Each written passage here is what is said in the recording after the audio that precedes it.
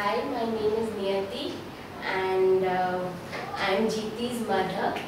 Okay. Uh, she is currently doing her play school at Little Explorers and I am very very very happy with the uh, play school because uh, when my daughter she came in she did not know how to speak but in these six months she has learned how to communicate a lot, eh, use English words and she knows how to talk about so many things and so many concepts that I'm very very happy to have her in this play school.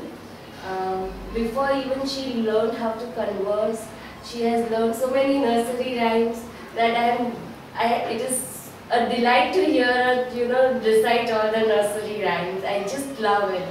And I'm very, very happy with the entire staff and all the teachers of this play school.